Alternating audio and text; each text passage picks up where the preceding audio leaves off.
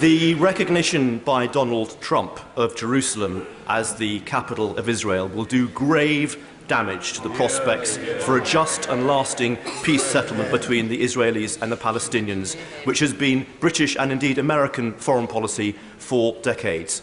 Was she consulted about this announcement, and if so, what did she say? Uh, and will she here and now, unequivocally and clearly, condemn it? Well, I say to the uh, right honourable gentleman that I'm intending to speak to President Trump about this uh, about this matter, but our position our position has not changed.